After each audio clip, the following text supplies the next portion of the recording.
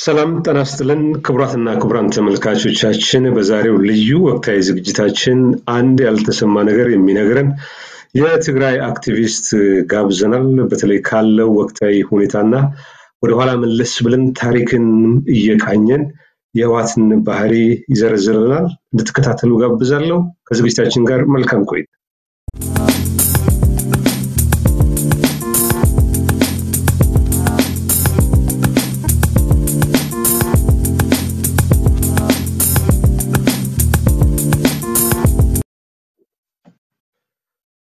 እንግዳችን ናትናኤል አስመላሽ ይባላል። በተለይ አሜሪካ ከገባ በኋላ ህዝባዊ ወያነ ሓርነት ትግራይ የሚፈጽማቸውን ወንጀሎች በኦንላይን ቴሌቪዥን የትግራይ ተወላጆችን በማቅረብ ብዙ ፕሮግራም የሰራ ሀገር ወዳድ ነው። አሁንም እንግዲህ ህሊናይ እያየ በተለይ የመከላከያ ሰራዊቱ ላይ የደረሰው አስነዋሪ ክህደት የትግራይ ልዩ ኃይል ጦርነቱ ስለምን ገባ፣ ምን ማድረግ አለበት፣ በውጭ የሚገኙ የትግራይ ተወላጆች ከህወሓት ጋር ነው መቆም ያለባቸው ወይስ ከትግራይ ጋር እንዲሁም በባድመ ጦርነት ላይ የነበረውን ሁኔታ ይገልጽልናል። እንድትከታተሉ ጋብዛለሁ። ናትናኤል እንግዲህ በራስ ተነሳሽነት የኢትዮጵያ ሳተላይት ቴሌቪዥን ላይ ለመቅረብ ጥሪ አድርገ ስለተገኘ በተለይ በዚህ ወቅታዊ ጉዳይ ህሊና ያላስተኛም ለሀገሬ የሆነ ነገር ማድረግ አለብኝ የትግራይ ወጣቶችንም መምከር አለብኝ ብለህ ስለመጣ በኢትዮጵያ ሳተላይት ቴሌቪዥን ተመልካቾች ስም ከልብ አመሰግናለሁ። እኔም በመጋበዜ አመሰግናለሁ በጣም ጥሩ ናትናኤል፣ እንግዲህ አንተ ቀደም ሲል አስራ ዘጠኝ ዘጠና በነበረው ጦርነት ባድመ ላይ ወታደር ነበርክ። በወታደርነት ቆይታ በተለይ ከጦርነቱ ጋር ተያይዞ የምታውቃቸው ብዙ ያልተነገሩ ምስጢሮች ወይም የተፈጸሙ ወንጀሎችም ጭምር አሉ። በተለይ ጦርነቱ ላይ አንሳተፍም ያሉ አንዳንድ የትግራይ ተወላጆች ዛሬ ደግሞ ሰሜን አሜሪካ ገብተው ትግራይ ውስጥ የሚደረገውን በተለይ በህዝባዊ ወያነ ሓርነት ትግራይ የሚመራውን ውጊያ ግፋ በለው እያሉ ከጀርባ የሚገፉም ሰዎች እንዳሉ ምስክርነት እየሰጠ ነው እና እንደው እኔ ከገለጽኩት ውጭ ስለራስህ የቀድሞ የሀገር መከላከያ ሰራዊት አባል ነበርክ፣ በባድመ ጦርነት ተሳትፈዋል እና እንደው የምትጨምረው ነገር ካለ ጥሩ።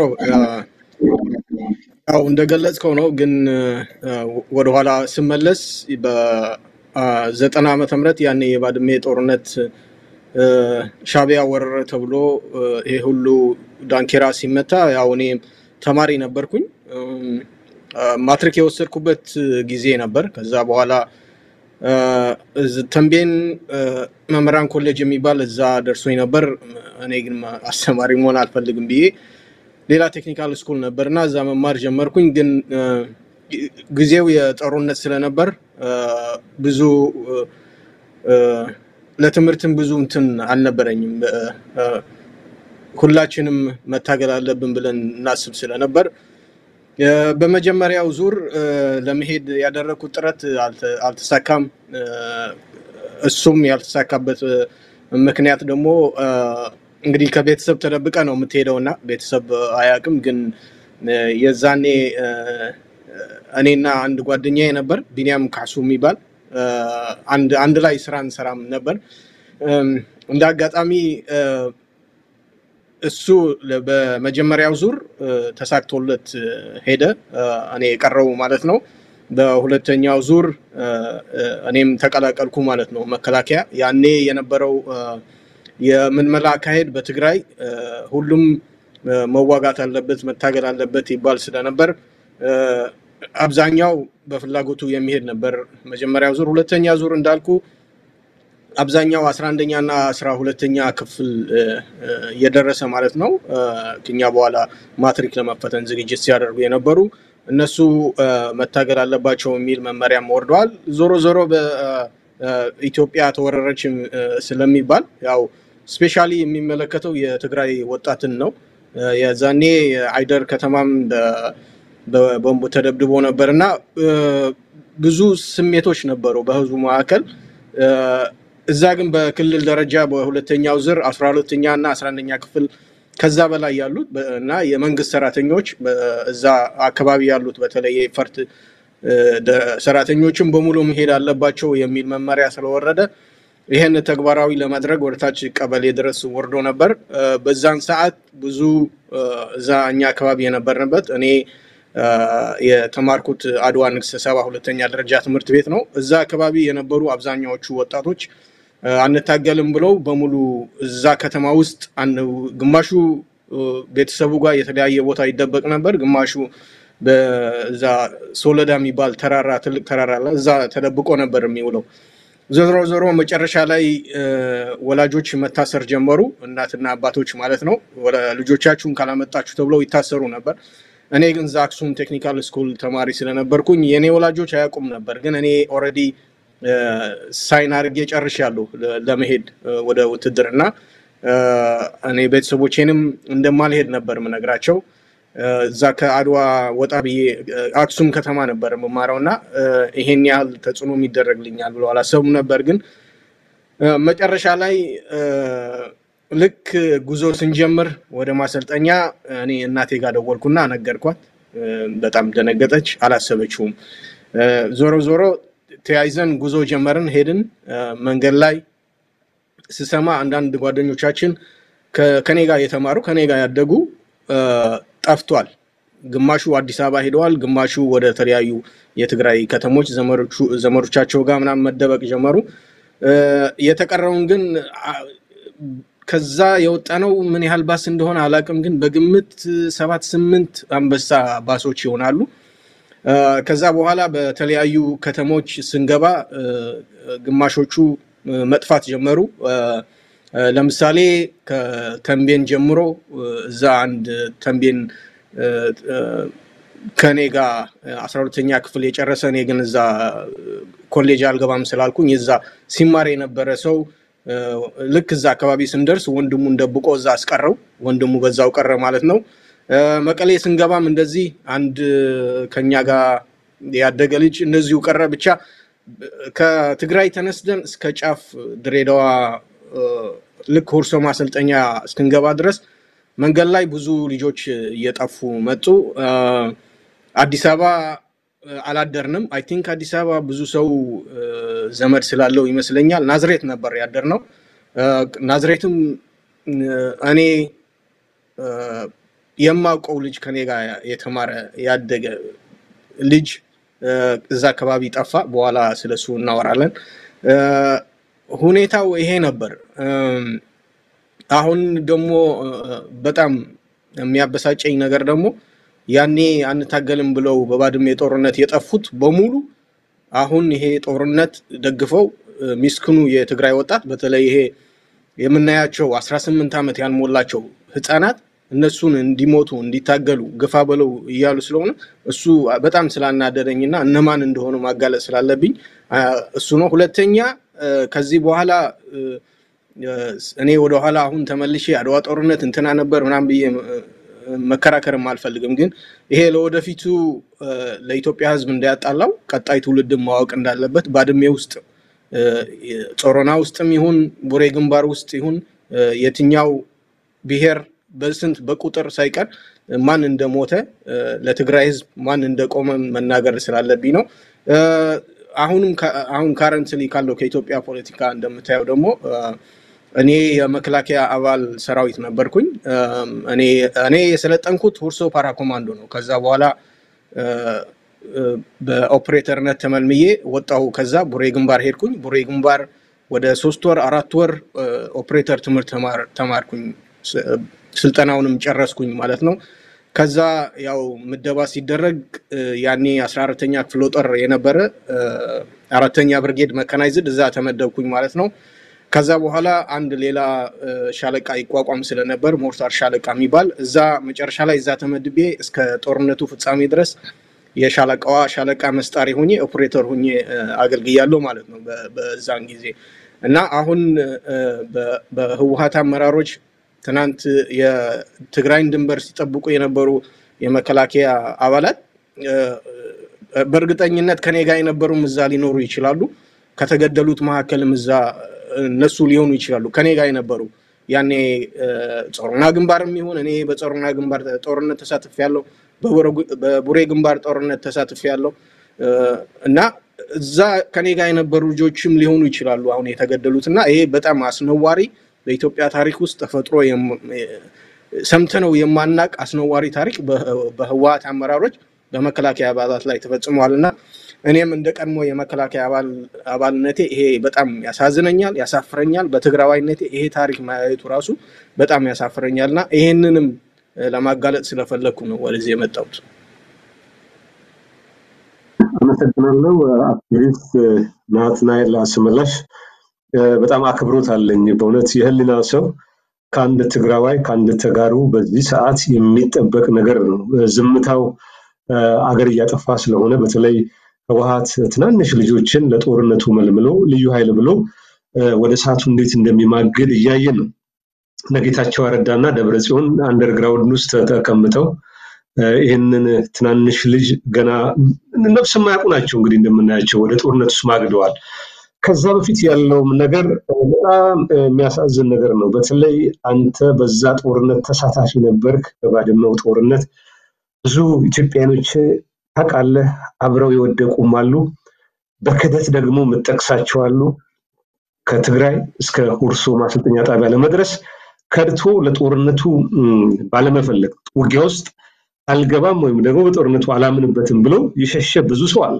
ከሸሹት ውስጥ ዛሬ እነዚህን ትናንሽ የትግራይ ልጆች ወደ ጦርነት የሚገፋፉ አክቲቪስት ነን የሚሉ የትግራይ ተወላጆች ሰሜን አሜሪካ አሉ። በኋላ በስም ፎቶቸውንም እያነሳን ተዘረዝራችኋለን። እንደው ባድመ ላይ አሁን ዛሬ በክህደት የህዋት ከፍተኛ ባለስልጣናት እንደሚናገሩት በክህደት የሚወነጅሉት ይሄ ሰራዊት እውነት የትግራይ ህዝብ ጠላት ነው? በባድመ ላይ ማን ነው የወደቀው? ማን ነው አጥንቱን የከሰከሰው? ማን ነው ህይወቱን የሰዋው? አንተ የአይን እማኝ ነህ። ብዙዎቻችን የማናውቀውን ታሪክ ታውቃለህ እና ህዝቡ ይስማው፣ የትግራይ ህዝብም ይስማው። እስቲ ናትናኤል ይህንን ሰፋ አድርገህ ግለጽ። ጥሩ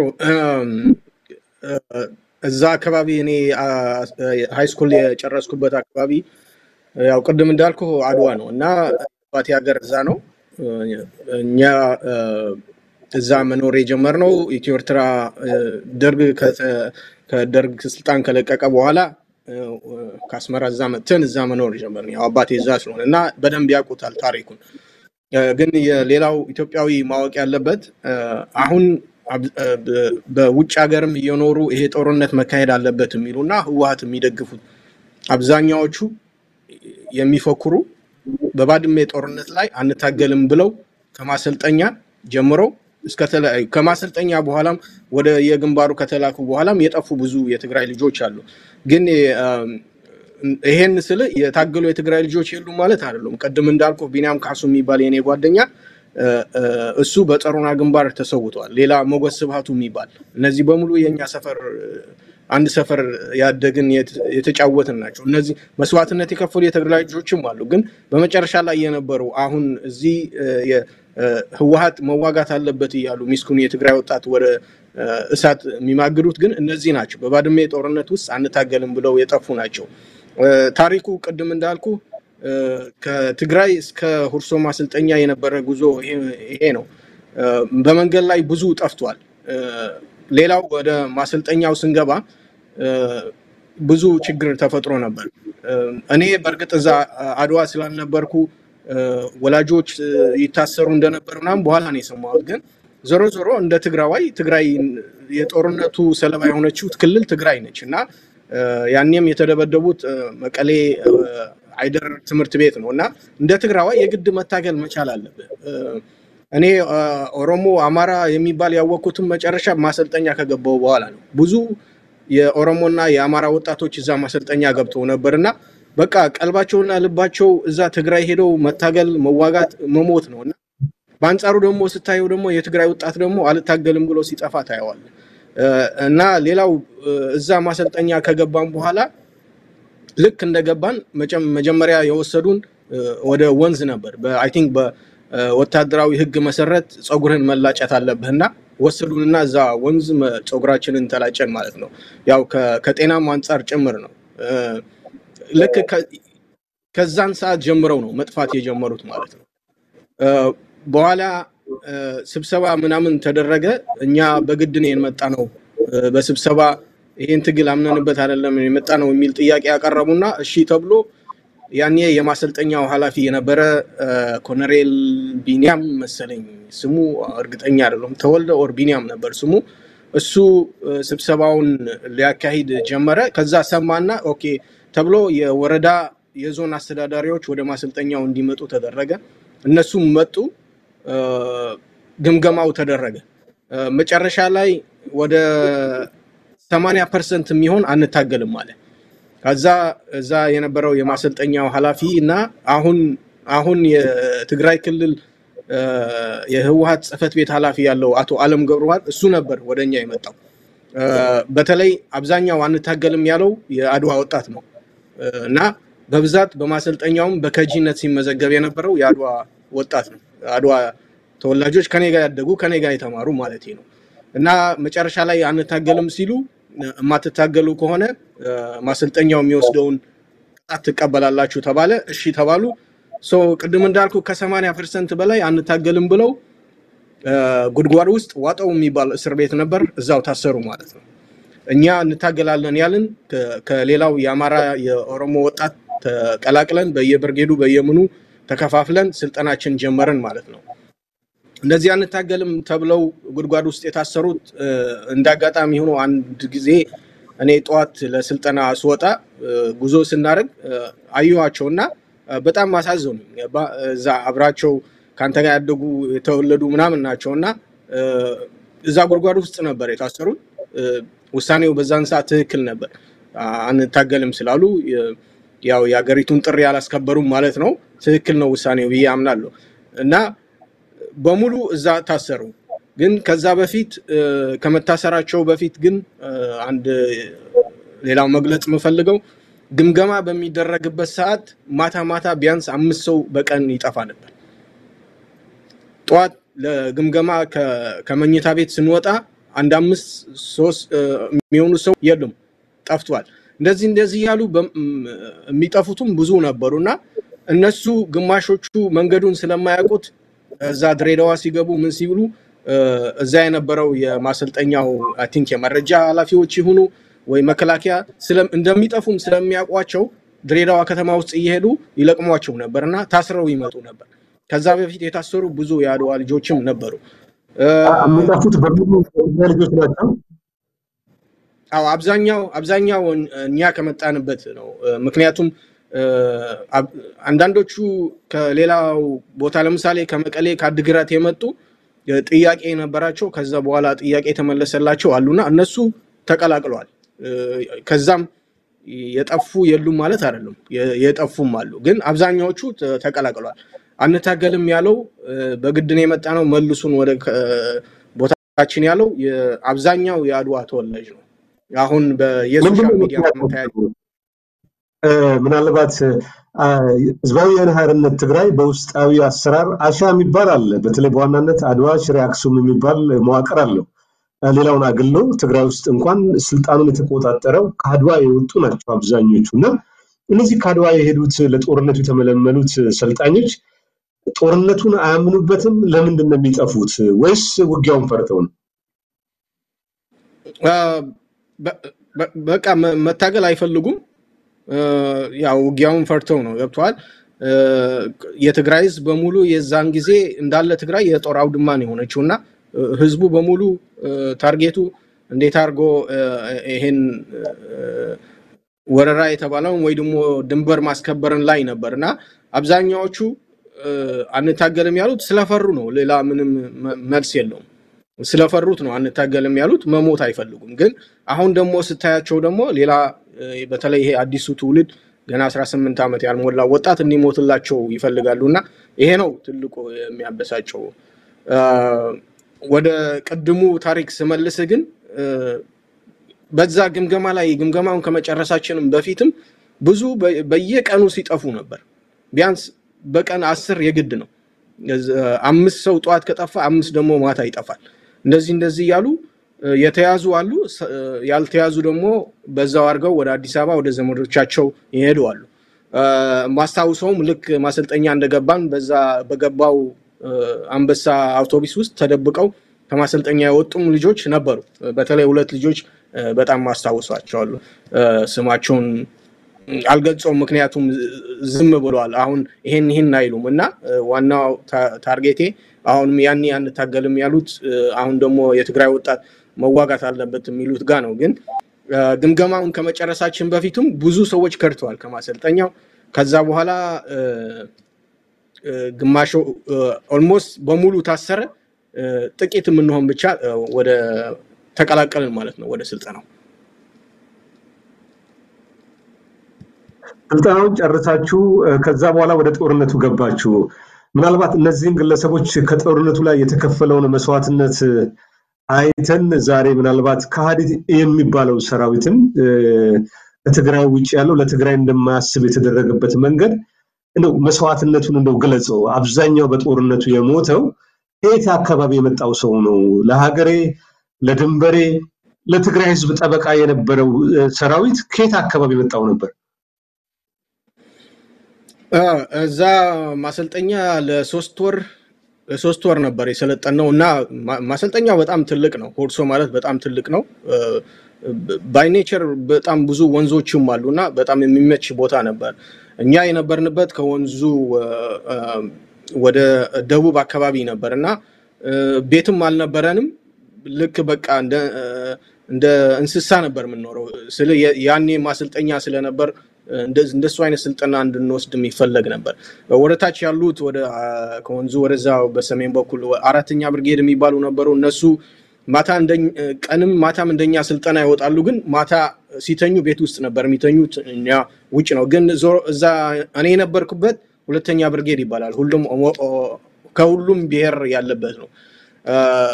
እዛ ላይ በብዛት የሰለጠነው እኔ እስካየው ድረስ የሰለጠነው የአማራ የኦሮሞና የሌላ ብሔር ተወላጅ ነው። በተለይ ከደቡብ የመጡ ብዙ ወጣቶች ነበሩ፣ ሶማሊያም ጭምር ማለት ነው። ዞሮ ዞሮ ኦሮሞም አማራም ነበር። በተለይ አንድ ልጅ ስሙን ረስቼዋለሁ። አሁን ከሆነ የኦሮሚያ ክልል ነው የመጣው እና ማትሪክ ሳይፈተን ነበር የመጣው እና በጣም ይበሳጭ ነበር። ጠዋት ጠዋት ከስልጠና ቆጠራ ስንወጣ ፎሌን የሚባል አለ። ጠዋት ጠዋት ትቆጠራለህ እና ጠዋት ጠዋት ቆጠራ ሲደረግ even ስልጠና እንሰለጥናለን ብለው ከገቡት ውስጥ በየቀኑ ሲከዱ የነበሩት ከኛ አካባቢ የመጡ ሰዎች ናቸው። ሌላው በስነ ስርዓት ስልጠናውን ጨርሶ እስከ መጨረሻ ድረስ ተመርቆ ወደ ተለያዩ ቦታዎች እንትን ወደ ግንባሮች ተልኳል ማለት ነው። ወደ ከማሰልጠኛው ወደ ግንባር ስንሄድም የምታየውም እንደዛ ነው። ምክንያቱም አብዛኛው አብዛኛው በተለይ ከአድዋ የመጣ የትግራይ ተወላጅ ከጂ ነበር፣ ከሃዲ ነበር፣ ከማሰልጠኛ ጠፍቶ ሄድ ነበር። ከዛም አልፎ በየግንባሩ ተመድቦ ስልጠና ሲገባም ምክንያቱም specially በትግራይ አካባቢ የደረሳቸው ሰዎች ቅርብ ስለሆነ አብዛኛዎቹ ጠፍቷል። መንገድ ላይም የጠፉ አሉ። ለምሳሌ አዋሽ ማሰልጠኛ ልክ ከኛ ጋር ስልጠና ጨርሰው ወደ አዋሽ ማሰልጠኛ የተመደቡ ሰዎች አዋሽ ማሰልጠኛ መንገድ ላይ የጠፉ ብዙ ናቸው። እዛ አዋሽ ገብተው ስልጠና ጨርሰው መሀል ላይም በፍቃድም በምንም የወጡ በሙሉ ቀርተዋል እና I think ዶክተር አብይም አንድ ጊዜ mention አድርጎት ነበር። ባድሜ ላይ የሞተው የፈሰሰ ደምና አጥንት ቢቆጠር የማን እንደሆነ ይታወቃል ብለዋል እና መልሱ ባድሜ ላይ የፈሰሰው ደም የፈሰሰው አጥንት ቢቆጠር አብዛኛው የሞተው ለባድሜ የሞተው የአማራ የኦሮሞ ወጣትና የሌላው ደቡብ ብሔር ብሔረሰቦች አብዛኛዎቹ በተለይ ከደቡብ የመጡ ብዙ ነበሩ እና እነዚህ ናቸው መስዋዕትነት የከፈሉ። አሁን ትልቁ የኔ መልእክትም ይሄ ነው። ለወደፊቱ የባድሜ ጦርነት ሲነሳ እኛንን የሞት ነው። ልክ አሁን እኔ አሁን ወደኋላ መመለስ አልፈልግም። የአድዋ ጦርነት አማራ ነው የሞተው ኦሮሞ፣ እሱ ለእኔ አሁን ያለፈ ታሪክ ነው። በቃ በዛን ጊዜ የነበሩ ሰዎች ታሪክ ሰርተዋል። አሁን የኔ ትልቁ መልእክት በባድሜ ጦርነት ለወደፊቱም የሚመጣው ትውልድ እንዳይሳሳት በባድሜ ጦርነት መስዋዕትነት የከፈለው በጾረና ግንባር መስዋዕትነት የከፈለው አማራ፣ ኦሮሞና ሌላ ብሔር ነው። አብዛኛው አብዛኛው የትግራይ ወጣት ከማሰልጠኛ ከርቶ ወጥተዋል። ይሄ ውሸት ነው የሚል ካለ እኔ ራሴ ምስክር ስለሆንኩኝ በፈለገው ሚዲያ በፈለገው ሰዓትም መከራከር እንችላለን እና ይህን ትልቁ ታሪክ ለወደፊቱም እንዳያጣላን እሱንም ማስተላለፍ ስላለብኝ ነው። በጣም ጥሩ ናትናኤል። እንግዲህ አበው አንድ ብሂል አላቸው። ማን ያርዳ ያቀበረ ማን ይናገር የነበረ ይባላል። ከአንተ ከምትሰጠው ምስክርነት ውጪ መሞገት የሚችል መቅረብ ይችላል። አሁን እንደምትለኝ በዛ ጦርነት ውስጥ ህይወታቸውን የሰዉ የኢትዮጵያ ልጆች ከየትኛውም ቦታ ተሰባስበው የመጡ የአማራ፣ የኦሮሞ፣ የደቡብ፣ የሶማሌ፣ የአፋር፣ የቤኒሻንጉል ከጋምቤላም የመጣ እንደውም ጀብዱም የሰራ አስታውሳለሁ። አንድ ያኛዋ ከኦኬሎ የሚባል እነዚህ እንግዲህ በዋናነት ህይወታቸውን ገብረው ነው አይደለ እንዴ? በዛ ደረጃ ለትግራይ ህዝብ ሀያ አንድ ዓመት ያንን ቦታ ላይ ከቆዩ በኋላ ጥቅምት 24 አራተኛ ምናልባት ሰሜን እዝ ሀያኛው ክፍለ ጦር ብርጌድ ላይ አራተኛ ሀያኛው ክፍለ ጦር አራተኛ ብርጌድ ላይ ያ ጥቃት ተፈጸመ ሲባል ምን ተሰማ?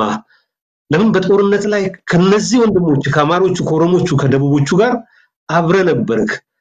ለዛ ጦርነትም በብዛት የተሰዉት እነሱ ናቸው እና ዛሬ ደግሞ አገር ሰላም ብለው ለህዝቡ የሚሰሩ ከዕለት ጉርሳቸው ከደሞዛቸው ቀጥበው ትምህርት ቤት ያሰሩ የተጎዱ የአካባቢን ሰዎች የሚረዱ አንበጣ መንጋን የተከላከሉ ሰብል ሲያጭዱ የነበሩ ሰዎችን በተኙበት ያንን ድርጊት ኢሰብአዊ የሆነ የክህደት ጭፍጨፋ ተፈጸመባቸው የሚለውን ዜና ስትሰማ ምን ተሰማ? ከዛ ወደ ከሃዲዎቹ እንመለሳለን። አዎ ትልቁ የሚያሳዝነው ታሪክ ይሄ ነው። በጣም ያሳዝናል። እንዲያውም የዛኔ የሆነ ጽሁፍ ጽፌ ነበር፣ ግን አልለጠፍኩትም እና የዛኔ የጾረና ጦርነት ሲካሄድ በግንባሩ ላይ የነበሩ በጣም ጎበዝ ወታደሮች ነበሩ። እኔ እንዳልኩ እኔ ኦፕሬተር ነበርኩኝ። ከኔ ጋር የነበሩ አንድ የኦሮሞ አንድ የአማራ ተወላጅ ነበሩ። ዘገየና በሱ ፍቃድ ይባላሉ። በሱ ፍቃድ የጎጃም ተወላጅ ነው። ዘገየ የባሌ ልጅ ነው እና ሁለቱም በግንባሩ ውስጥ አሉ የሚባሉ OP ነበሩ። OP ማለት በወታደራዊ አጠራር አስተኳሽ ማለት ነው እና እነሱ ነበር የታዩን።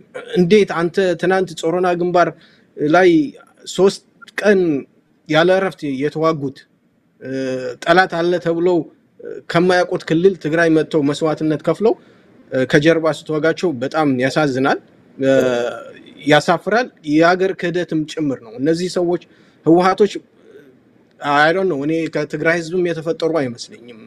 በጣም ያሳዝናል፣ ያሳፍራል። ለታሪክም ለትግራይ ህዝብ ጥቁር ታሪክ አስቀምጠውለት ሄደዋል እና እኔ በጣም ነው ያዘንኩት።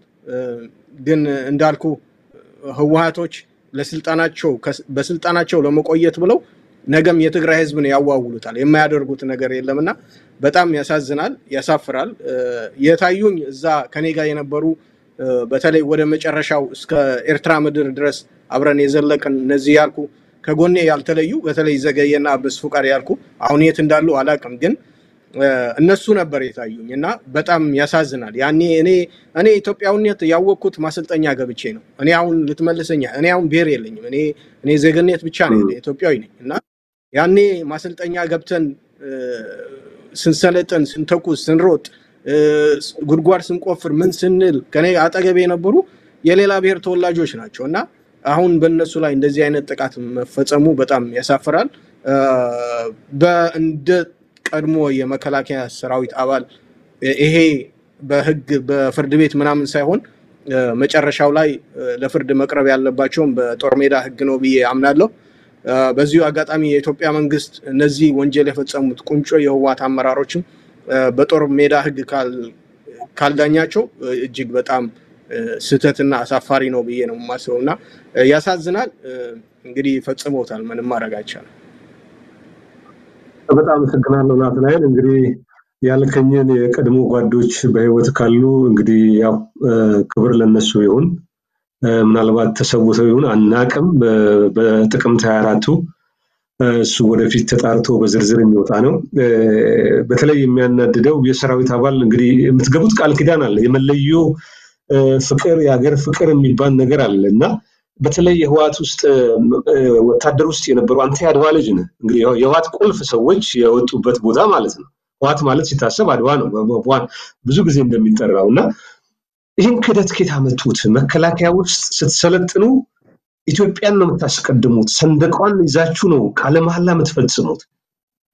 እነዚህ ለህወሓት ቅርብ የሆኑ ሰዎች የትግራይ ተወላጆች ወደዚህ አቋም ገብተው የነ ደብረ ጽዮንን የነ ጌታቸውን ምክር ተቀብለው በጦሩ ላይ እንዴት እንደዚህ አይነት ክህደት ፈጸሙ ብለህ ታስባለህ? እንደው ወደኋላ መለስ ብለህ የጦር ሜዳ ውሎንም የእያንዳንዱን ግለሰብ ባህሪ የኢትዮጵያኖችንም ባህሪ የጦር ጓዶችን ስታሰብ ይህ ክህደት እንዴት ሊፈጠር ይቻላል? አሁን እዛ መከላከያ ላይ በእኛ ደረጃ ማለት ነው እኛ ለምሳሌ ከማሰልጠኛ ጀምረን እስከታች ድረስ ስንሰለጥን እኔ ለምሳሌ የእኔ ቤስት ጓደኛ የነበረ አብርሃም ሀገቶ የሚባል የደቡብ ልጅ ነው። እኔ እና አንድ ቀን ተለያይተን አናውቅም። አንድ ላይ ነው የምንተኛው፣ አንድ ላይ ነው የምንበላው እና በቃ የተለየ ፍቅር ነበረን። ሌሎችንም እንደዚህ ናቸው። ሌላውም ከኦሮሞ ጋር፣ አማራም ከትግራዩ ጋር እንደዚህ አይነት ፍቅር ነበረን መከላከያ ውስጥ። አሁን ባለው ሁኔታ ግን እነሱ ስልጣን ስላጡ እኔ ምን እንዳደረጓቸው አላቅም፣ ግን ይሄንን ወንጀል ራሱ መፈጸሙ አይ ነው እኔ መግለጫም የለኝም ምን እንደምልም አላቅም፣ ግን በጣም ያሳዝናል። ስለ ወደ እግረኛው ስትሄድ ደግሞ ለምሳሌ እኔ በጣም የማደንቃቸው ያኔ የእግረኛ አርባ ሶስተኛ እና አርባ አንደኛ ብርጌድ የሚባሉ ነበሩ እና እነሱ በሙሉ በማያውቁት ምድር ነበር የሚዋጉት። ጾሮና ግንባር ላይ ይህን ሁሉ መስዋዕትነት የከፈሉት እነሱ ናቸው። አስራ ሁለተኛ ክፍለ ጦር የሚባሉም ነበሩ። አብዛኛዎቹ የኦሮሞ በተለይ የቀድሞ የኢሂድን ታጋዮች እና የኦህዴድ የነበሩ በኋላም ኦነግ ሆነ ወደ መከላከያ የተቀላቀሉ በሙሉ እነዚህ በትግራይ ምድር ላይ ነው መስዋዕትነት የከፈሉ እና አዝናለሁ በጣም እንደዚህ አይነት ታሪክ መፈጸሙ። ለወደፊቱ ሲጣራ በደንብ እንሰማዋለን። ነገር ግን ለዚሁ ሁሉ ተጠያቂዎች አሁንም አስር የማይሞሉ የህወሀት ቁንጮ አመራሮች ናቸው። ግን አፍራለሁ፣ አዝናለሁ በጣም ትናንት እኔ አሁን አላደርገውም። እኔ አሁን ስለ አብርሃም ማለት የደቡብ ልጅ ነው እና እኔ እሱን መግደል አልችልም። ወይ ጠፍቼ ሌላ ቦታ ሄዳለሁ እንጂ አይዶን ነው። ምንም መግለጫ የለኝም፣ ቃላቶች የለኝም። ይገባኛል ስሜቱን እንደ ቀድሞ ሰራዊት አባል በጦርነት እንደተሳተፈ የሌሎች ኢትዮጵያ ጓዶች ላይ የተወሰደውን እርምጃ ስታይ በተለይ የቀድሞ ባልደረቦችን እንበል በተለይ የሰሜን እዝ የሚገኘው አብዛኛው በጦርነት ውስጥ የቆየ ትግራይ ውስጥ ከአንድ ዓመት በላይ እንግዲህ የቆየ ነው። በአካባቢው በልማት ተሳትፎ የሚያደርግ ለዛ ያም አለ። በዓለም የጦርነት ታሪክ ውስጥም በክህደት ቁጥር አንድ ተብሎ ይጠቀሳል ብዬ የማስበው ነው። ለምን አንድ ኮዳ ጠጥተው በአንድ ሳህን በልተው የገዛ ወገናቸውን የገደሉ ወታደሮች ተብሎ ነው የሚጠቅሰው። እንግዲህ ለሰራዊቱ መስዋዕትነት የከፈለ ሰራዊት አለ። ተጋድሎ አድርገው ደግሞ ያመለጡትም ምስክርነታቸው እንደሚሰጡት እኛ የልዩ ኃይሉ ሳይሆን ችግር የሆነብን ከውስጥ የወጣው ባንዳው ኃይል ነው ብለዋል እና ይሄ ነው ትንሽ አሳዛኙም አናዳጁም አስገራሚ የሚያደርገው። እንደው እዚህ ጦርነት ባድመ ጦርነት ላይ እንግዲህ የህይወት መስዋዕትነት በዋናነት የከፈሉት የአማራ፣ የኦሮሞ፣ የደቡቡ፣ የሶማሌው ልጆች ናቸው ብለዋል።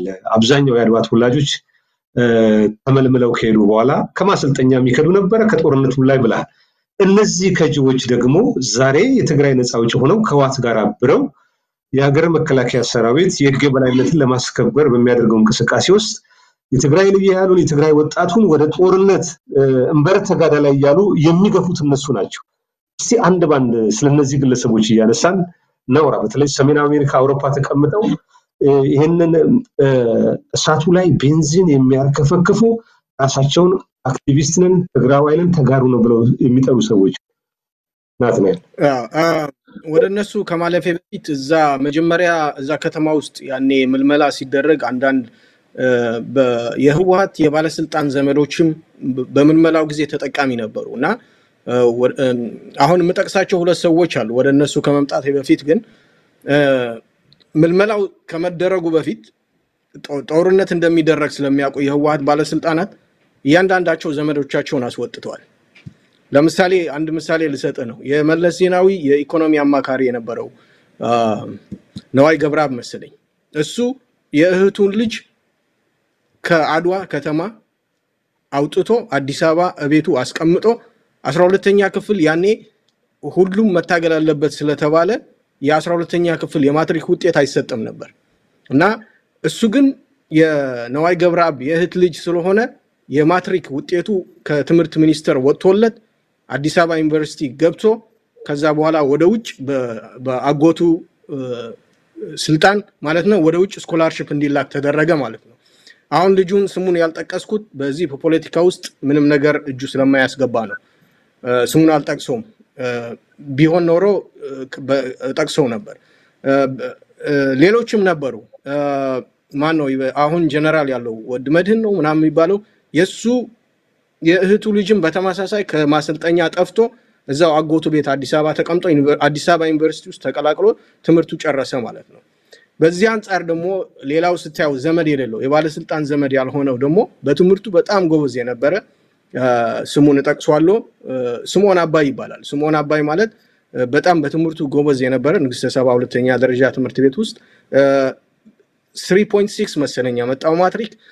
እሱ ግን ዘመድ ስለሌለው አስረው እዛ ወሰዱት ማለት ነው።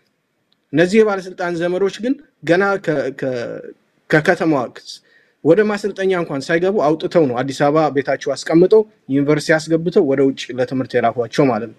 አንደኛ ይሄ ነበር። ሌሎችም ግን አሁን በውጊያው ያኔ የጠፉት ከማሰልጠኛው ለምሳሌ ኤርሚያስ የሚባል አለ። አንድ እዚህ ስሙን እገልጸዋለሁ። በተደጋጋሚ በፌስቡክ ገጼም ጽፌው ነበር። ኤርሚያስ ማለት ይሄ አሁን በምስሉ ላይ የምታየው ይሄ ማለት ከማሰልጠኛ የከዳ ከሃዲ ትግራዋይ ነው።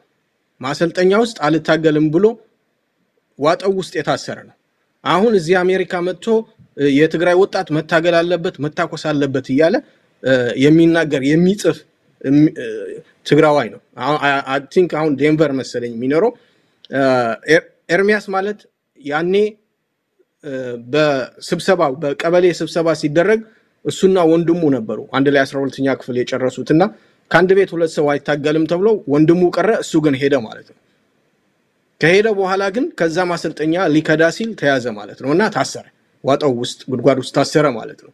አሁን እነዚህ ናቸው እንግዲህ በጦርነት የትግራይን ምስኪኑ ወጣት ወደ ጦርነት መግባት አለበት የሚሉ በተደጋጋሚ በፌስቡክ ገጽ የምጽፌው ነበር። ስለዚህ እነዚህ ናቸው አሁን የትግራይ ወጣት መታገል አለበት መዋጋት አለበት ሌላኛው አንዱ ጌታቸው የሚባል ነው። እሱም እንደዚህ ነው። ልክ ወደ ማሰልጠኛ ጉዞ ስንሄድ ልክ ቀጥናት ነው ያለሽ። ይሄ ነው ጌታቸው ከስብሐት ጋር ያለው ጌታቸው። አዎ ጌታቸው ማለት ደግሞ ይሄ በምስሉ ላይ የምታየው ነው። ይሄ ደግሞ ከማሰልጠኛ ከትግራይ ወደ ማሰልጠኛ ስንገባ ናዝሬት ሻንጣውን ይዞ የጠፋ ነው። ፈርቶ ለዛም ሆነ በአይኔ ያየሁት ማለት ነው። አንድ ባስ ነበር እና ፈርቶ ወደ አዲስ አበባ ዘመዶቹ ጋር ተደብቆ ከጊዜ በኋላ ወደ ትግራይ ሄዶ አሁን ስብሐት አሽከር ሆኖ ተላላኪ ሆኖ መጨረሻ ላይ ስብሐት ምክንያት በአንቲንክ በአዲስ አበባ አንድ መያድ የሚባል ድርጅት ነበር መሰለኝ መንግስታዊ ያልሆኑ ድርጅቶች የሚቆጣጠር እዛ ውስጥ ገብቶ የኢፈርት company ዎችን በሙሉ ከ tax free እያደረገ ሲሰራ የነበረ እና በአጭር ጊዜ ውስጥ በጣም ሚሊዮነር የሆነ ልክ እነ አቦይ ስብሐት ተሸንፈው ወደ መቀሌ ሲሄዱ እሱም እንግዲህ ተመልሶ አሁን አድዋ እየኖረ ነው እና እነዚህ ናቸው የትግራይን ወጣት መዋጋት አለበት እነዚህ ናቸው የትግራይን ህዝብ የሚያሰድቡት እና እነዚህ በሙሉ ትናንት ኢትዮጵያንና የትግራይ ህዝብን የከዱ ናቸው። ስለዚህ ሌላው ኢትዮጵያዊ ማወቅ አለበት እነማን እንደሆኑ እነዚህ ናቸው ልልህ ፈልጌ ነው። እንግዲህ አሁን እንደገለጽክልን በጦርነቱ በዛ በክፉ ጊዜ በጨለማው ጊዜ ለትግራይ ህዝብ ቅርብ የነበሩት እንደገለጽክልን ከአድዋ የተመለመሉት ሲከዱ የትግራይን ህዝብ ለጦርነቱ አንድም ሲሉ የአማራ፣ የኦሮሞ፣ የደቡብ ልጆች በጦርነቱ ላይ ተማግደዋል። እንደምናውቀው እንግዲህ እንደሚነገረው ወደ መቶ ሺህ ሰው ተሰውቷል። ከዛ ውስጥ ከስልሳ ሺህ በላይ ኢትዮጵያውያን ናቸው። ብዙ ወገኖቻችን እዛ ቀርተዋል። እንግዲህ ጠቅላይ ሚኒስትር አብይ እንዳሉት የአድዋ አፈር ወይም የባድመ አፍ አውጥቶ ቢናገር አጥንቱ ቢመሰክር ያሉት ነገር እውነት ቢነገር እነዚህ ዛሬ ህዝቡን ወደ ጦርነት የሚገፉ ኃይሎች ባለስልጣናቱ ልጆቻቸውን በማሸሽ ዘመዶቻቸውን በማሸሽ በመደበቅ ነግረናል፣ ምስክር ሌሎቹ ደግሞ ከህዋት ጋር ባላቸው ቅርበት በተለያየ መንገድ ከሀገር ከወጡ በኋላ በአውሮፓን በሰሜን አሜሪካ ይሄንን ቡድን በፋይናንስ በማጠናከር በውጭ ግንኙነት ዲፕሎማሲውንም በማገዝ በኩል አሁን ጦርነቱ እንዲቀጣጠል ከሚያደርጉት መካከል ይጠቀሳሉ እና ይህንን ጉዳይ ለመቋጨት ያህል ነው። እንደው ምን ትመክራለህ? በውጭ የሚገኙ የትግራይ ተወላጆች ይሄ ጊዜ ከትግራይ ዲያስፖራ ጋር ከትግራይ ህዝብ ጋር ከኢትዮጵያ መንግስት ጋር ነው መቆም ያለባቸው ወይስ ህወሓት አሁን የሚያደርገውን የክተት ጥሪ ተቀብለው ወጣቱን ወደ ጦርነት መማገድ? ናትናኤል ያ አሁን ይሄ በሁለት ነው የምንከፍለው። ለምሳሌ በቅርቡ ከሳምንት በፊት የተደረገ አንድ ድብቅ ስብሰባ ነበር። እሱን ስብሰባ የሚመራው ብርሃነ ገብረ ክርስቶስ የተባለ የቀድሞ የአሜሪካ ኤምባሲ የነበረ ማለት ነው። በቅርቡ እሱ በነገራችን ላይ ብርሃነ ገብረ ክርስቶስ ያርከበ የእህቱ ባል ነው እና እንደዚህ ዝምድና አላቸው እርስ በርሳቸውም ስለሚጋቡ እና በቅርቡ ነበር ወደ አሜሪካ የመጣው። እሱም ለመታከም ብሎ ለምኖ ነው ተፈቅዶለት ነው የመጣው። ግን አሁን በድብቅ ስብሰባ አድርገው አሁን ይሄ እንዳልከው እሱ ከዚህ በፊት የሚያውቃቸው ዲፕሎማቶች ስለነበሩ ትግራይ ተወረረች፣ ፌዴራል መንግስት ወንጀል እየፈጸመ ነው እያሉ እንደዚህ ብዙ ስብሰባዎችና እንትን የትግራይን ዲያስፖራ mobilize እያደረጉት ነው። አንዳንዶቹ በጥቅም የተሳሰሩ በዝምድና የተሳሰሩ ስለሆኑ ምንም ልትላቸው አትችሉም። እነዚህ ሰዎች መጨረሻ ወደ ስልጣን እስኪመጡ ድረስ እድሜ ልካቸው ኢትዮጵያን እንደተቃወሙ የኢትዮጵያ መንግስት እንደተቃወሙ የትግራይ ህዝብን ደግሞ እንዳሰደቡ ነው የሚኖሩት። ሌላው ግን መልእክት የማስተላልፈው ግን ዝምታን የመረጠ አብዛኛው በውጭ ያለው ትግራዋይ አሁንም ዝምታው መስበር አለበት። ለሀያ ሰባት ዓመታት ለትግራይ ህዝብ ምንም የፈየደለት ነገር የለም። ሀያ ሰባት ዓመት ሙሉ ህወሓት የትግራይ ህዝብን ከአማራውም አጣላው፣ ከኦሮሞውም አጣላው፣ ከሌላው ብሔርም አጣላው። ይባስ ብሎ የብሔር ብሔረሰቦችን ተዋጽኦ የሆነው የመከላከያ ሰራዊት ላይ እርምጃ በጣም አሰቃቂ የሚያሳፍር እርምጃ ወስዷል እና ህወሓት ለእኛ ለተጋሩ ምንም አይጠቅመንም እና እኔ ለትግራይ ዲያስፖራ የምመክረው አሁንም ወጥታችሁ ህወሓትን መቃወም መቻል አለባችሁ። እነዚህ ሰዎች ነገ ያልፋሉ። የትግራይ ህዝብ ከሁሉም ህዝብ ጋር ይኖራል። ትናንት ምንም ከማያውቀው የኤርትራ ህዝብ ጋርም አጣልተውናል። ሮኬት እዛ አስመራ ድረስ ደብድበው ከኤርትራ መንግስት ከኤርትራ ህዝብም ጋር አጣልተውናል። ይሄ ሚስጥሩ አንድ ነው። የኤርትራ መንግስት ደግሞ አጸፋ ምላሽ እንዲሰጥና ይኸው የትግራይ ህዝብ ተደበደበ ብለው ህዝቡን እንዲያነሳሱ ነው እና ስለዚህ ለእኛ ምንም አይጠቅመንም። በተለይ በዲያስፖራ የምትገኙ እነዚህ አሁንም ሆን ብለው የትግራይን ወጣት ወደ ጦርነት ለመማገድ የሚፈልጉ ባላቸው አቅም ሁሉ የሚታገሉት ግን ስለምናውቃቸው እሱ የሚመለከተውም አካል ጋር በመነጋገር ላይ ስለሆንን ኢንፎርሜሽንም እየሰጠን ስለሆንን የትም አያመልጡም። ግን አብዛኛው የትግራይ ወጣት ዝም ያልከው ግን ከዚህ በኋላ መውጣትና መናገር መቻል አለብህ። ሀያ ሰባት ዓመት ሙሉ የትግራይ ህወሓት ገዝቶም አርባ አምስት ዓመት እንኳን ብትወስደው አስራ ሰባት ዓመት ሙሉ የትግራይ ህዝብ በጦርነት ነበር። ከዛ በኋላ የባድሜ ጦርነት መጣ። ሀያ ዓመት ሙሉ no war no peace በሚል በጦርነት አቆዩት። ትግራይ የወታደር ቤት አደረጓት። አሁን ደግሞ እንደገና ሶስተኛ ጦርነት ሶስተኛ generation ማለት ነው። ምንም የማያውቅ ወጣት ደግሞ ወደ ጦርነት እየማገዱትን ነው እና እዛ ትግራይ ውስጥ መስዋዕትነት እየከፈሉ ከንቱ መስዋዕትነት እየከፈሉ ያሉ የትግራይ ልዩ ኃይል እንደ ቤተሰቦቻችሁ አይታችሁ ከዚህ ጦርነት ራሱ እንዲያወጣ ወይም ደግሞ እንዲያገልና እናንተም እንድትቃወሙ በዚህ አጋጣሚ ነው መልእክት የማስተላልፈው። በጣም አመሰግናለሁ ናትናኤል። እንግዲህ አሁን የትግራይ ልዩ ኃይልን ስታነሳ በዚህ ጦርነት የህወሓት ስራ አስፈጻሚ ወንጀለኛው ቡድን እነዚህን ህፃናቶች ነው ጦርነቱ እየገፋ ያለው እና ልዩ ኃይሉ በማያውቀው ጦርነት ለምን ገባ? ከዚህስ በኋላ ምን ማድረግ አለበት? አሁን እየተነጋገርን ጠቅላይ ሚኒስትር አብይ ለትግራይ ልዩ ኃይል ሚሊሻ እና ለሚመለከታቸው የጸጥታ ዘርፎች የሰጡት ጊዜ ያለ ሀያ አራት ሰዓት ነው የሚቀረው እጃቸውን በሰላማዊ መንገድ ለሀገር መከላከያ እንዲሰጡ በሚል እና እነዚህ የትግራይ ልዩ ኃይል በማያውቁት ጦርነት እንዴት ገቡ? አሁንስ ምን ማድረግ አለባቸው? እንደ አንድ ትግራዋይ የቀድሞ የሀገር መከላከያ ሰራዊት አባል አንደኛው ነገር አሁን የትግራይ ልዩ ኃይል አብዛኛው በትግራይ እንደምታውቀው ስራ አጥ ወጣት ነው። አንዳንዱ ሳይወድ በግዱ ነው የገባው። ምክንያቱም በትግራይ ህወሀት ከመጣ ጀምሮ ወደ አምስት መቶ ሺህ የሚያክል ስራ አጥ ወጣት ተፈጥሯል። ይሄ ደግሞ ሆን ተብሎ ነው የተፈጠረው። በትግራይ ኢፈርት የሚባል company ብቻ እንዲገባ አድርገው ሌላ እንዳይገባ አድርገው ይህን ያህል የስራ አጥ ወጣት ፈጥሯል። ይሄ አንዳንዱ almost አብዛኛው ማለት ይቻላል economically በጣም ስለተጎዳ ቤተሰቡን መቀለብ ስላለበት ራሱንም መቻል ስላለበት ተቀላቅሏል።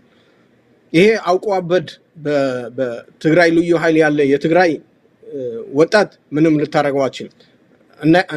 እያየናቸው ናቸው። በፌስቡክ ምን ብለው እንደሚጽፉም እያየን ነው። ዞሮ ዞሮ አሁን የትግራይ ልዩ ኃይል ያለው በሙሉ ማድረግ ያለበት እኔ እምለው ከህወሀት ታጋዮች እንማር። የህወሀት ታጋዮች 17 ዓመት ሙሉ ታግለው ምንም ያገኙት ነገር የለም። 17 ዓመት ሙሉ ታግለው በድህነት የሚኖሩ የሚያሳክማቸው አጥተው ብዙዎቹ አይተናል። በቅርቡ ጃዚር የምትባል ዘፋኝም አይቷቸዋል። በ13 ዓመቷ ህወሀት ተቀላቅላ እስካሁን ድረስ በቤት ክራይ ትኖራለች።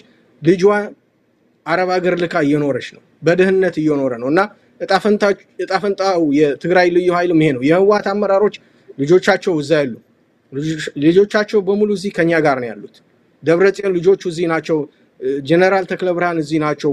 የነስባት ልጆች የልጅ ልጃቸው ሳይቀር ነው እዚህ ሀገር ያለውና የትግራይ ልዩ ኃይል ከቻል እጅን መስጠት ያው በቀረበው ጥሪ መሰረት እጅን መስጠት ማንም ስትፈልግ ወደ ኤርትራ፣ ስትፈልግ ወደ ጎንደር፣ ስትፈልግ ወደ ሱዳን እጅን መስጠት ነው። ማንም የሚነካ የለም እና ከቻልክ ከቻልክም ከኢትዮጵያ መከላከያ ሰራዊት ጎን በመቆም የኢትዮጵያ መከላከያ ሰራዊት ማገዝና የትግራይ ህዝብ ነፃነትን ማወጅ መቻል አለብህ ነው የምለው።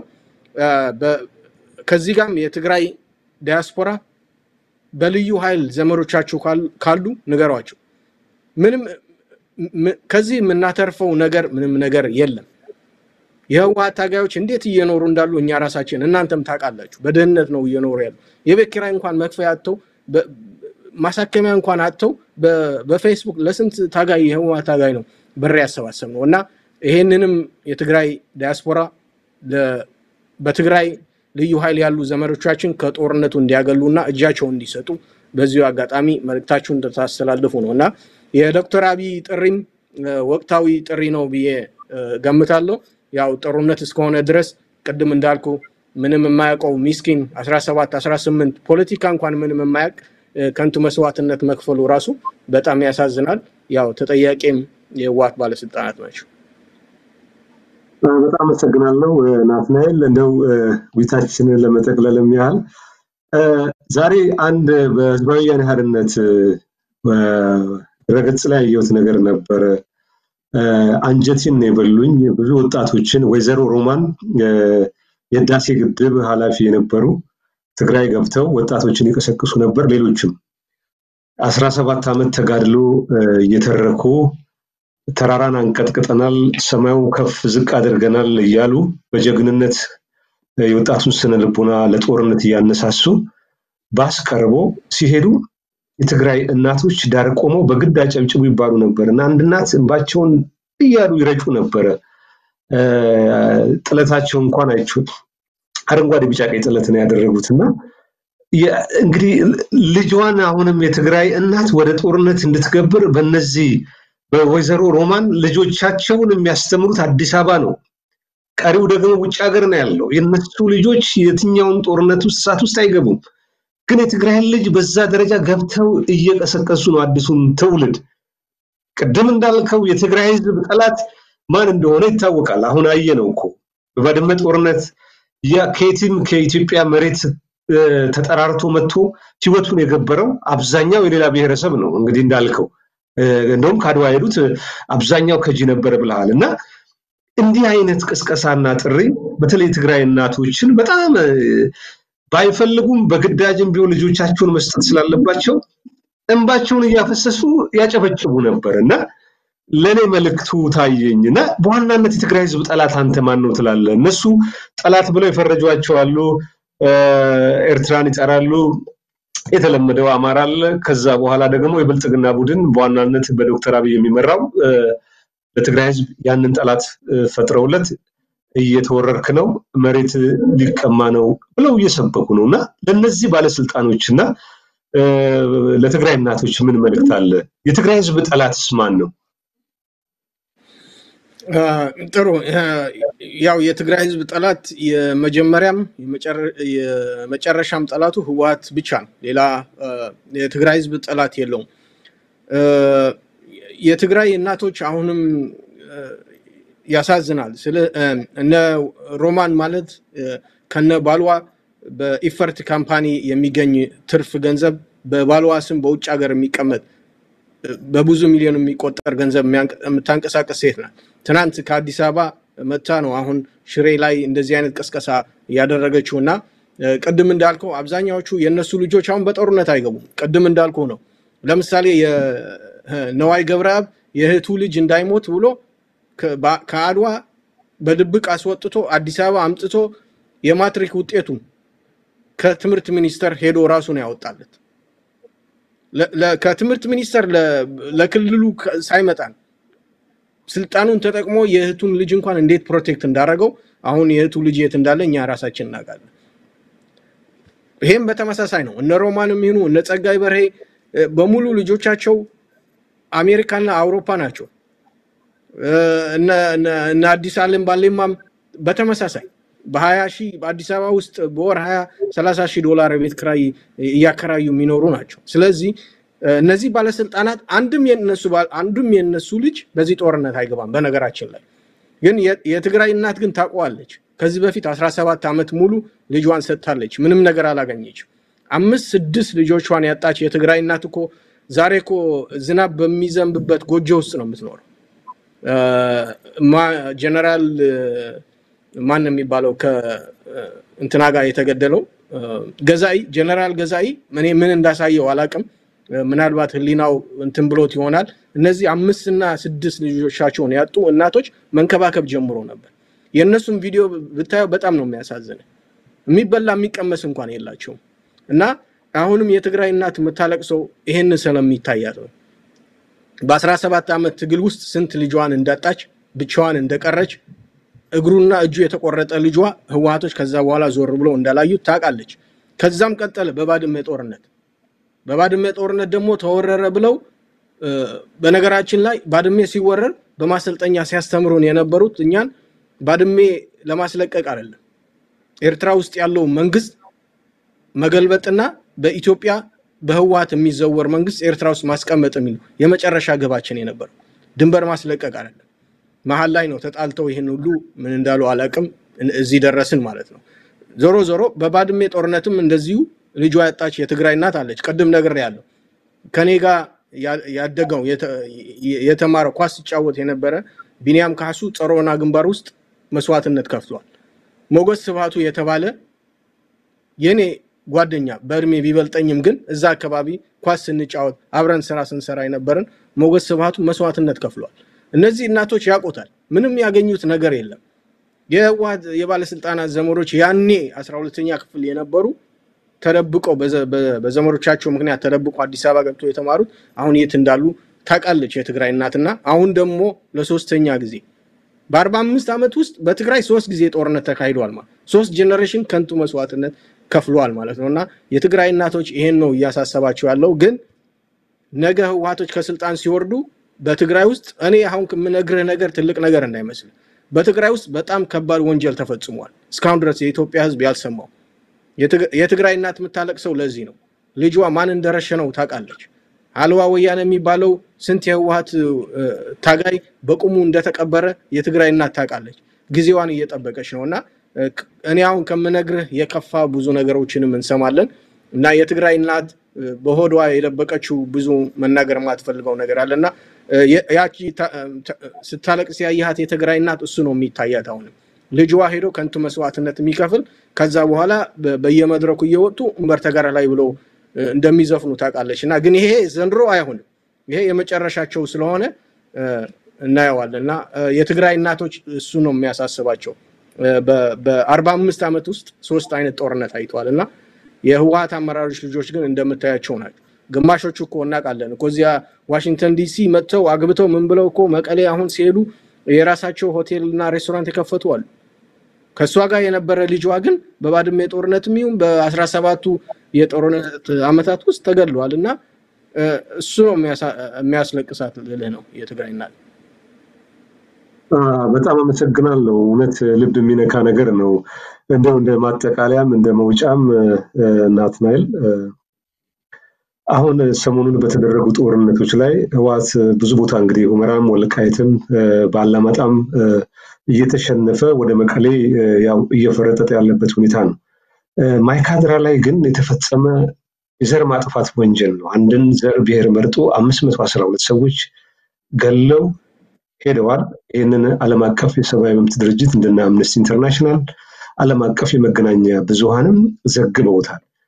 እንዲህ አይነት ጭካኔ በመፈጸም በኢትዮጵያ ውስጥ የእርስ በርስ ጦርነት እንዲነሳ ለማድረግ ነው። እንደው ይህንን ተያይዞ ሌላው ማህበረሰብም እንደው የምታስተላልፈው መልእክት ካለ በዚህ ጭካኔ ተባባሪ የሆኑ ወደፊትም እንዳይደግሙት ምናልባት ለእነሱም የምታቀርበው መፍትሄ ሀሳብ ካለ በተለይ ለአዲሱ የትግራይ ትውልድ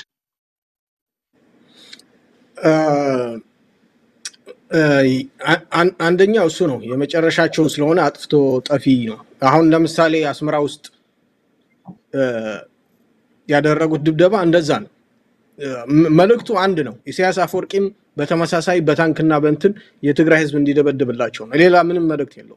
ልክ ሀውዜን ላይ እንዳደረጉት ነው እና እስከ መጨረሻ ድረስ በዚህ ምድር ላይ ያልተፈጸመ ወንጀል ለመፈጸም ዝግጁ ናቸው። እየፈጸሙትም ነው። እንደምታውቀው ማይካድራ አምነስቲ ኢንተርናሽናልም ዘግቦታል እና ለእነሱ አዲስ ነገር አይደለም። በተለይ ጠላታችን ነው የሚሉት አማራ ላይ ለአመታት የቋጠሩትን ቂም በመጨረሻ ሰዓታቸው ላይ አውጥተውታል። አይተናል። ማይካድራ ላይ በሙሉ ምዕራብ ትግራይ ጀምረ ደቡብ ትግራይ ያለው በሙሉ እንደማይደግፋቸው ያውቃሉ። ስለዚህ አጥፍተህ መጥፋት ነው እንትናቸው። ከዚህ ውስጥ የትግራይ ወጣት አሁን ምንድነው መማር ያለበት? በተለይ አገር ቤት ያለው የኛ ጠላት አማራም አይደለም፣ ኦሮሞም አይደለም፣ ሌላው ሶማሌም ወይም ሌላ ብሔር አለ። የኛ የመጨረሻ የመጀመሪያና የመጨረሻ ጠላት ህወሀት የተባለ ነው። የትግራይ ወጣት ምናልባት ያልሰማው ብዙ ታሪኮች አሉ። ከዚህ በፊት በ17 ዓመት ጦርነት ውስጥ በደደቢት ውስጥ ሀልዋ ወያነ በተባለ እስር ቤት ውስጥ ስንት የትግራይ ወጣት እንደተገደለ በቅርቡ ያውቋል። አሁን ይሄ ጦርነት ካለቀ በኋላ የሚመጣው እኔ አሁን የሚያስፈራኝ እሱ ነው። አሁን እየተደረገ ነገር አይደለም። አሁንን የሚያስፈራኝ ይሄ ነገር ሁሉ ካለቀ በኋላ ህወሀት ከተደመሰሰ በኋላ የሚወጣ ሚስጥር ብዙ ነው።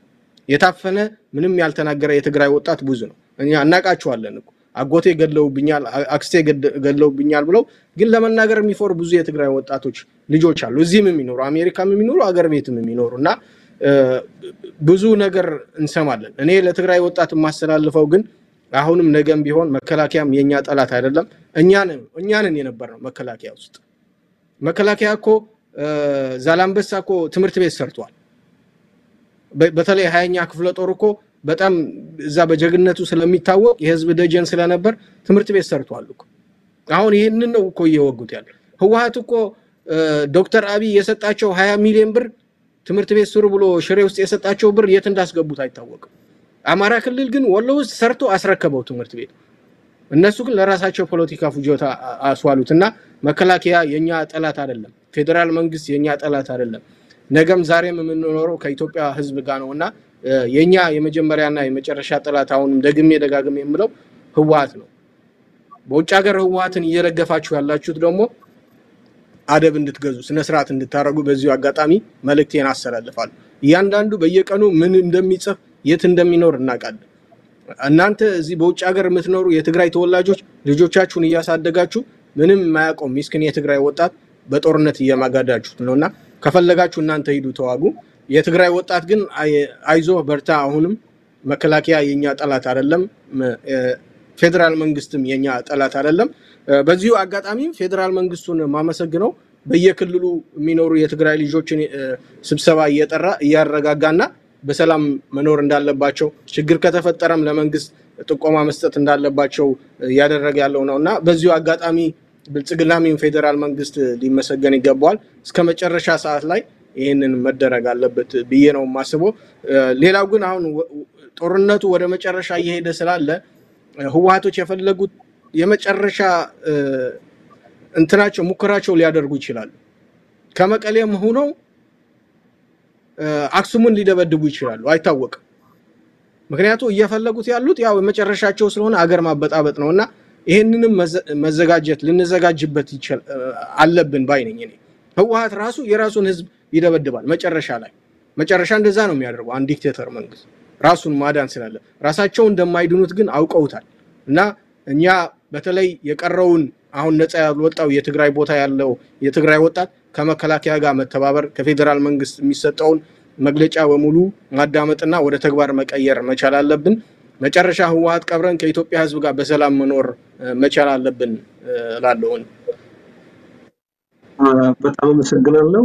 ናትናኤል አስመላሽ በባድመ ጦርነት ተሳታፊ የነበረ ትግራዋይ ኢትዮጵያዊ፣ ስለ ጊዜ በኢትዮጵያ ሳተላይት ቴሌቪዥን ተመልካቾች ስም ልብ አመሰግናለሁ።